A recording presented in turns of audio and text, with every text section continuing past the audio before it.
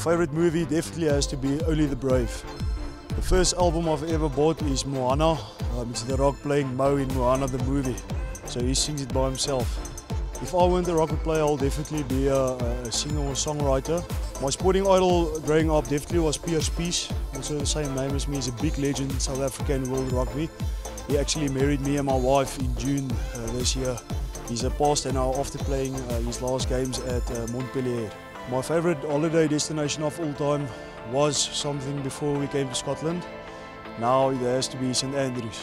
When I think of Scotland, the first thing I see is uh, obviously Braveheart. The actor I would choose to play in a film definitely has to be uh, The Rock in The Scorpion King. Can you see my eye twitching a bit? I'm not as bold as him, but I have a bit of longer hair, mate. The most famous person on my phone definitely has to go to Jan Serfontein from Montpellier. He doesn't like it when I say it, but it is true. If I could have any superpower um, whatsoever, I would know what goes on in a woman's mind sometimes.